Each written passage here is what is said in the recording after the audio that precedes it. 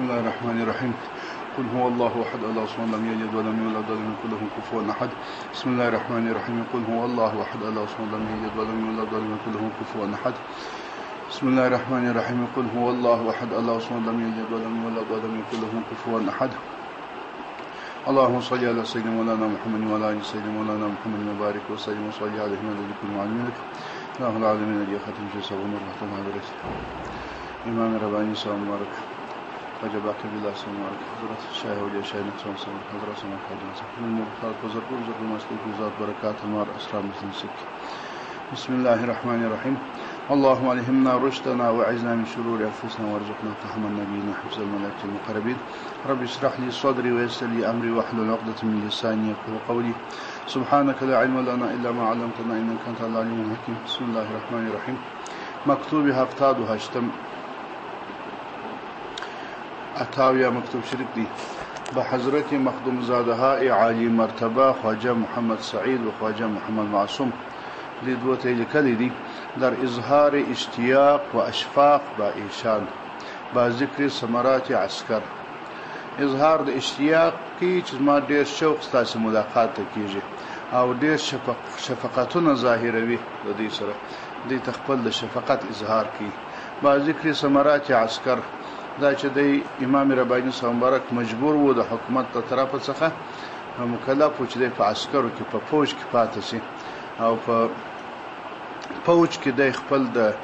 علم او خپل د اصلاح خدمت وکړي نو د دې ثمرات هم بیانې الحمدلله والصلاه والسلام علی رسول الله فرزندان ګرامی هر چند مشتاق و خواهان دوام صحبت ماند و ما هم آرزومند حضور و ملاقات ایشان و که څه هم زما قدرمن زامن چې دي هغه ډیر مشتاق دي شوقمند دي او غوښتونکي د دوام د صحبت زموږ دي چې همیشه زه د دوی سره وای او دوی زموږ سره صحبت کې وای او زه هم آرزومند یم د حضور و د ملاقات ته دی چې دی حاضر وای او دی سره ملاقات کیدلای اما چه توان کرد که جمیع آرزوها میسر نیست مګر نو سړی څه کولای سی چه آرزوګانی د انسان ټولی نه میسر کیږی ډیر د انسان ارمانونه فاتیږی ډیر آرزوګانی دی د انسان چې هغه ته انسان رسیدګی نسی کولای وای تجری ریاح بما لا تشتهی السفن هغه کښتیانو چې اوان ورته کېږي بادونه کله کله هغسې را روان وي باد هغې خوا ته راسي چې د کښتۍ اوان ورته کېږي کښتۍ دې ته هوا کېږي چې د شا له خوا باد راسي او کښتۍ ټېله کې مخ ته روانه کړي او کښتۍ چې په کم طرف روان ده چې پر هغه طرف باندې باد روان سي لیکن کله کله مخالف بادونه راځي نو کښتۍ و مخ ته تګ ته نه پرېږدي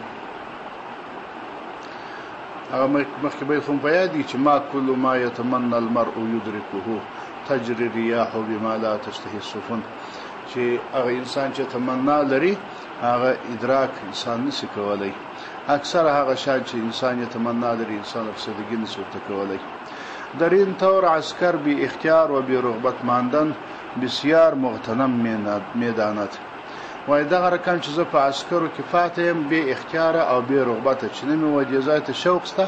او نه اختیار پکښې لرم، دغسې پاتېدل زه ډېر غنیمت بولم.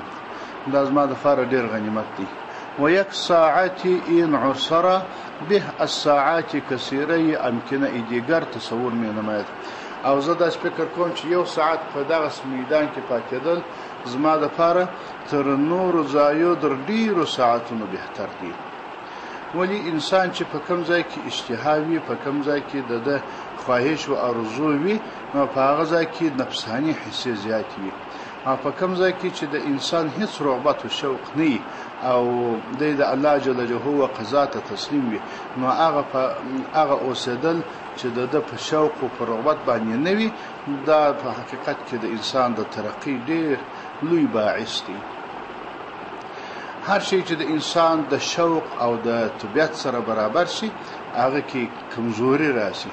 په هغه کې د انسان د ترقۍ کمزوري وي او هر شی چې د انسان د طبیعت څخه خلاف وي، په هغه کې د انسان د روحانیت تقویه وي. نو ځکه وايي، یو ساعت پاتېدل دلته تر نورو ځایو ډېر بهتر دي.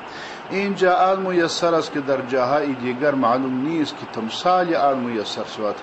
دلته هغه څه خدای تعالی راته رسوي چې په نورو ځای کې معلومه نه ده چې د هغه یو مثال دې لا نصیب شي یو مثال دې لا سړي ته ورسېږي دلته خدای تعالی هغه څه په حقیقت سره میسر وي یعنې هغه څه ترقیات او کمالات الله تعالی دلته نصیب کوي ځکه چې هیڅ خواهش او ارزو نشته هیڅ د نفس شوق و رغبت نشته پکښې کې نو په نورو ځایو کې معلومه نه ده چې دغه مثال دې لا برابر شي علوم و معارف این موطن جداست و احوال و مقامات این مجمعه علی حده په دې موطن کې په دې ځای کې چې کوم علوم و معارف الله تعالی په کشف و الهام کې ما ترکی هغه ډیر جلا علوم و معارف دي او حالات و مقامات د دې جماعت د دې ځای ډیر علایده دي د نورو ځایو څخه منع ای که از جانب سلطان است آن را دریجه آن را دریچه ای کمال رعفت و رضامندی مولای خود می داند جل شانه وای د د باچا د طرفه څه چې کومه منع سوې ده چې دوی ما د باندې نه پرېږدي د فوج څخه د وتلو اجازت نه راکوي نو دا زه د الله جل جلاله د رضا او د مهرباني دروازه بولم دا د هغه د پاره یو دروازه بچا بولم و سعادت خود در این حبس می انگارد او زه په دغه بندیخانه کې، په دغه حبس کې خپله نیکمرغي وینم، په دې کې خپل سعادت فکر کوم. علی الخصوص در این ایام مشاجرت، خاص طور بیا په دغه ورځو کې چې مشاجرې دي، جنګونه دي او فوج د جنګو په کار باندې اخته دی، هغه وخت کې پاچا ډېر جنګونه کول، درې څلور طرفه څخه د دوی جنګ شروع و، نو دغه فوجونه به و دغه. د جنګو کارونه و مخته روانو عجائب کاروبار است و در این اوقات فرد تفرقه غرائب غنج و دلال وای عجائب کاروبار دی چې په دغه سي اختلافونو په دغه سي مشاجرو او تکلیفونو کې بیا هم د انسان د ترقی لار خلاصي او عجائب کاروبار دی په دې اوقات پر تفریقه کې دا وختونه چې د انسانانو فکرونه پاشلي دي د ټولو انسانانو توجه او سوچ د دښمنو د پکېدو ته دی، غرائي وي غنج و دلال، نادر نادر غنج و دلال راځي. غنج و دلال دا د محبوب یا د معشوق و ناز و نواز ته وايي، د هغه و عجائبو حرکاتو ته وايي او د هغه و نازونو ته وايي، نو دلته وايي عجائب غرائب او نادر غنج و دلال د محبوب راځي، یعنې د محبوب حقیقي. د هغه د طرفه څخه عجائب عجائب انوار و فیوضات و ترقیات راځي لیکن هر دولت تازه و بلعجب که روز به روز می رسد فرزندان در دل می خلند وای هر نوی دولت و نعمت چې ماته ورسیږي او ډیر یو تعجب نعمت چې الله تعالی جه ورځ په ورځ ماته رسیي و فرزندان در دل می خلند وای خپل زامن می زړه کې راګرځي و از دوری و نایاب که آنها جگر در اضطراب می باشد د هغو د لیرې والی او د نایاب ته څخه زما ځیګر په اضطراب کی فکر می د هغو سره یی هم کش که دی حاضر وای چی د دی نعمتو څخه دی مستفید شوی وای او دا کشفیات و دا نوی علوم و معارف تر دوی پورې رسیدلی وای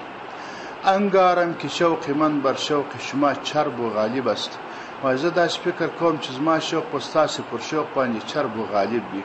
یعنې تاسې به داسې فکر کوئ چې زموږ به دې پلار ته ډېره هوا کېږي چې لېدلی مو ستاسې زما د طرف ته ډېر شوقمن یاست، خو زه بیا داسې فکر کوم چې یې ازما شوق به ستاسې پر شوق باندې زیات وي، زما به ډېره هوا کېږي و دې ته چې ستاسې ملاقات وای او تاسې حاضر وای و مقرر است که آن قدر که پدر خواهان پسر است پسر خواهان یې په در نیست وای دا یو قانون دی ثابته شوې خبره ده چې پلار چې څونه د زوی غوښتونکی دی پلار چې څونه د زوی سره مینه لري زوی هغونه اندازه د پلار غوښتونکی نه دی همیشه همیشه د پلار غوښتنه د زوی لپاره بالابود وي د زوی د غوښتنې هر چند قصیه ای اصالت و فرعیت مقتضی عکس این معناست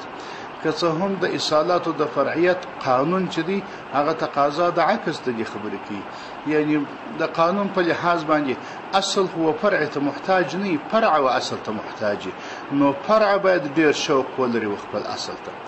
قانون د اصالت او د فرعیت خدا تقاضا کوي چی اولاد یا زوی فرع دی اولاد فرع دی نو چې فرع دی د فرع شوق و اصل ته ډیر وي ځکه فرع و اصل ته سخت محتاج ده اما دا چې اصل و خپل فرع ته ډیر شوق کوي دا بیا د دې قانون څخه مخالف دی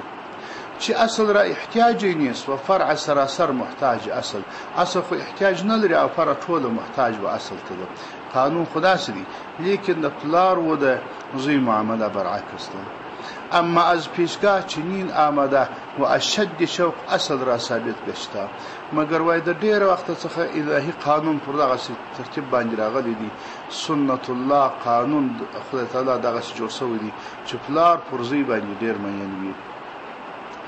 آرې درخانه به کدخدای ماند همه چیز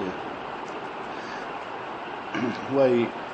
په کور کې به کدخدای ماند همه چیز په کور کې چې اشی پروت وي هغه یو اندازه مماثلت د صاحب خانه سره لري یعنی هر څوک چې په کور کې یو شی یږدي هغه داسې شی اېږدي چې یو څه اندازه د ده سره مناسبت ولري. مثلاً د ملا په کور کې کتابونه پراته وي، کتابونه ده سره مناسبت لري. د نجار کور ته چې ورشې نو ارې و، تېشي و، چکپشان و، دا شیان پراته وي چې د ده سره مناسبت ولري. او د مستري و کور ته چې ورشې پلاسونه و، سکرونجان و، پانې و، دا پېچونه مېچونه دا شیان پراته وي. د برکي په کور کې د برق سامانونه پراتي په کور کې چې هر شی هغه د کدخدای سره مانند وي د هغه سره هم مثل وي نو دا دنیا خو ټوله د الله جل جلاله جوړ دی او دا دنیا الله تعالی جو جوړه کړې ده نو په دې دنیا کې چې چې د مخلوقات دي هغه هم یو اندازه مناسبت یا آثار د هغه الله جل جلاله په کښي کي دي الله جل جلاله د بنده سره محبت لري خدای تعالی وا يحبهم ويحبونه الله جل جلاله د بندگانو سره محبت لري او بندگان بیا د الله سره محبت لري نو الله جو خپل محبت مخته کړی دي اگر چې خدای تعالی اصل دی بندگان فرع دي دا معنا چې هغه مخلوق او مملوک ده دي نو باید بندگانو د الله جو سره ډیر محبت درلودی لیکن د الله جل جلاله محبت د بندگانو سره ډیر زیات دی نسبت تر هغه محبت چې هغه محبت د بنده دی د خدای تعالی سره الله جو د بنده سره ډیر محبت لري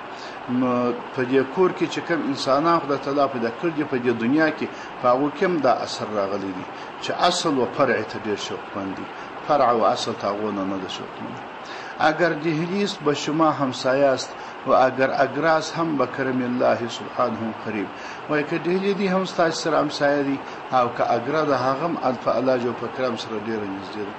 پخوا په هندوستان کې دوه پایتخته وه یعنی په مختلفو وختو کې پایتخت به اکثر وخت اګرا و په اګرا کې به خلک اوسېدل پایتخت په اګرا کې و اګرا د ډیلی څخه ډیره لرې ده د دلی څخه تقریبا د شپږ اوه ساعتو یا د اتو ساعتو د موټر لار یو علاقه د اګره ورته وایي په هغه اګره کې چې دی د د شیخ سلیم صاحب زیارت هم هلته دی د شیخ سلیم چشتي صاحب مبارک زیارت هم هلته دی او تاج محل و دغه شان هم په دغه شاوخوا علاقو کې دي نو پخوا چې و پایتخت په اګره کې و، پاچا به هم په اګره کې اوسي، کله کله به بیا ډیلي ته راتلي، هلته دا د ژمي او د دوبي مناسبات دي، کله به په ډیلي کې اوسېدی، کله به په اګره کې اوسېدی، نو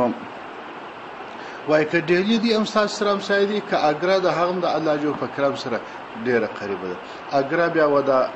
سرهند شریف غوندې ته هم نږدې ده. نو امام رواني صاحب مرک خو چې بندي وو د د اګرې په علاقه کې د باچا سره وو نو وایي هغه هم درته نږدې د هغه هم ستاسو سره همسایه ده پروا نه لري مشکل نه لري ان شاء الله تعالی فیض و برکت تاسو ته رسیږي والسلام علیکم ورحمت الله وبرکاته اللهم صل علی سیدنا محمد وعلى ال سیدنا محمد